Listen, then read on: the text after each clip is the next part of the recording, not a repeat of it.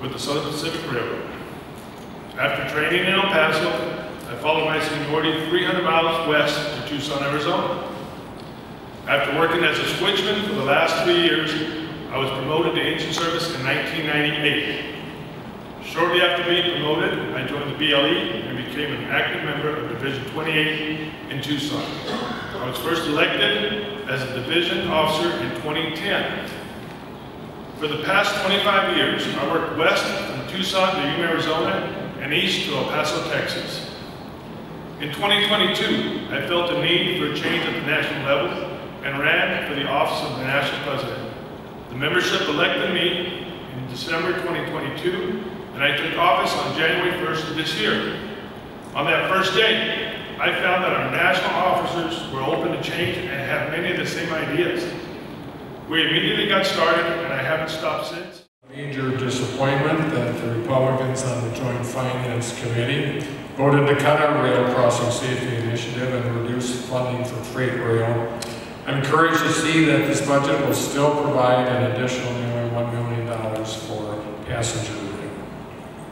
In addition to our work to get more funding for these programs in the state budget, we are also glad to see the work happening at the federal level to support the industry, including through the bipartisan infrastructure law, which is providing a large investment in rail and through the recent efforts with the bipartisan Railway Safety Act. The other day, a person asked me what I do for work. After I told him of my job and my duties, he started telling me about the things he heard and read about railroads recently, citing the recent derailments, the union contract issues, supply chain issues, East Palestine, and all the things going on with the railroad.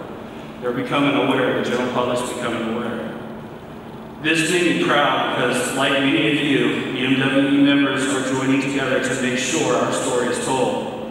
They want the industry to be restored. Members want their careers to return to what they once were. A good job that they are proud of. felt that, that last year, you know, it was, it was my responsibility and time, in, that moment, to pick up the banner and, and carry it forward where you guys took it. And, know, I'm, I'm immensely proud that you guys think I did a great job. If anything, that means more to me than anything else. Because it means that, that, you know, I'm, I'm doing what you guys need me to do. And, and it's unique because the SCD, uh, up to that point, had never allowed labor, uh, seat at the table. Uh, And and not only are you at the table, but it said, and you're in the room, but you have a microphone and you have a voice center. And, and I I think that it's the movement that we're seeing now, But that is just part of our overall fight, part of what we can do to advance this industry. And the problem that we've had collectively as a labor, as a labor movement, as a rail labor movement in particular, is we get complacent. Now, every once in a while, there is a big potential strike, or there is a ball of fire in eastern Ohio.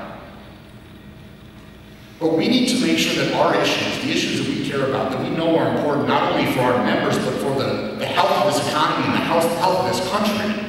Because we drive the economy, you all know that, right? I mean, freight rail, people forget about how vital it is to our entire economic well-being until there is a potential strike, or until there is a, a, a safety disaster like in East Palestine.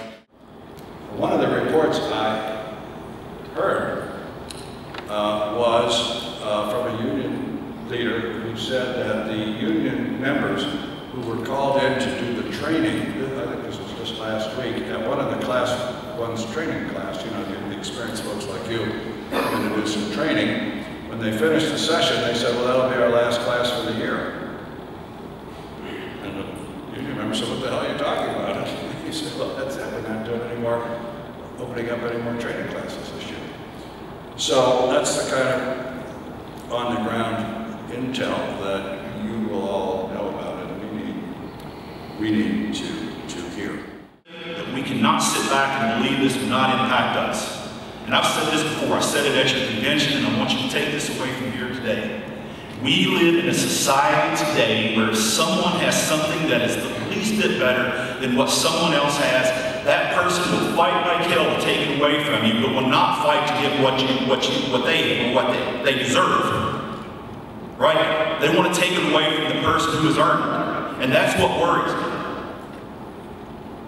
We have to do something. We have something that everyone wants that they don't have. We have a superior pension system that gives us financial security. Brothers and sisters, we've earned it. We as railroaders have earned everything that railroad retirement will pay. Railroaders have long been the lifeblood of our nation's economy. They connect communities, they help facilitate trade, they transport goods and passengers across the country. And what you have to realize is that you're not just an engineer, you're not just a conductor, you are a remarkable group of individuals toiling day and night to keep our trains running safely and efficiently and to keep our country going. We also issued another safety advisory on train makeup after finding that there was a, a, rising trend in, in incidents where train build and makeup have a potential cause or contributing factor in a particular instance. So we issued a safety advisory again to the railroads, requiring them to take a number, encouraging them to take a number of actions, uh, including reviewing, updating train makeup policies and guidelines to make sure efficient, current. Mobilization efforts over the last four years will continue with our new team of motivated officers. We will stand alongside our union and other labor unions and continue to publicly call attention to the many issues railroaders face daily.